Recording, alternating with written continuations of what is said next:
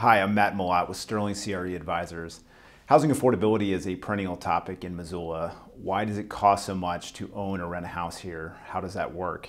The simple answer is that it's because a bunch of greedy developers and Californians who can afford to make above market cash offers come in, swoop up all the properties, and make it unaffordable for everybody else. Actually, it's not that simple. Life would be much easier maybe if it was, but there's actually much more to consider. Today, we'll look at some of the factors that are making housing so expensive here.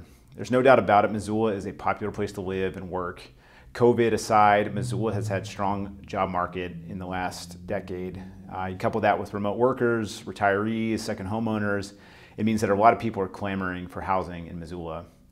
In rough numbers, for every job and a half that we create, we need to build a new housing unit to accommodate that growth.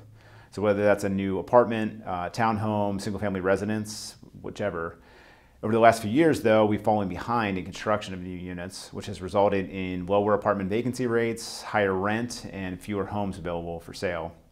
Take a look at this graph, which boils supply and demand down in the Missoula housing market by showing the number of residential permits issued each year since 2010. The blue portion is for single family residences, while the orange and yellow for, are for multifamily residences permitted in a given year.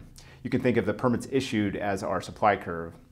This green line you see here is an approximation of demand for housing units, which we determine by dividing annual population growth in Missoula by the average household size.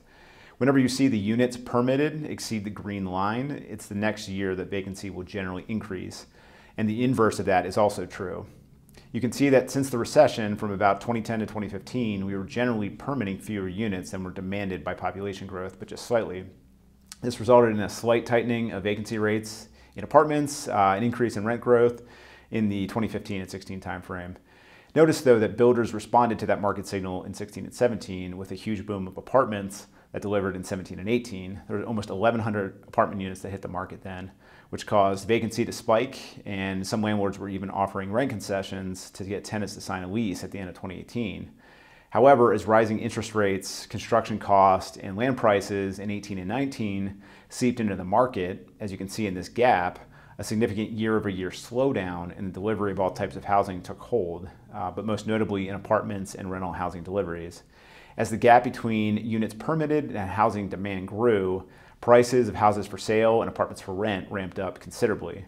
In 17 and 18, housing prices grew by 8.1% to a median home price of 290,000. From 18 to 19, it grew by 8.6% and is now $315,000 for a median house. Over the same period, average rents for an apartment grew by about 4% per year. So what can be done to keep housing prices stable? Missoula can either decrease demand or it can increase supply, and there are two ways to decrease demand. The first is to make Missoula an unpleasant place to live. Uh, polluting our rivers, outlawing breweries, or replacing the national forest with parking lots would probably do the trick, but that's obviously not going to happen. The second option is to discourage economic growth, which therefore would decrease job growth, and generally fewer jobs mean fewer new people moving to an area.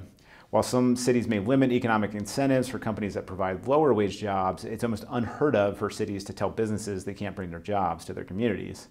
With the near term impacts of COVID 19 aside, decreasing demand for housing in Missoula over the long term is unlikely to happen.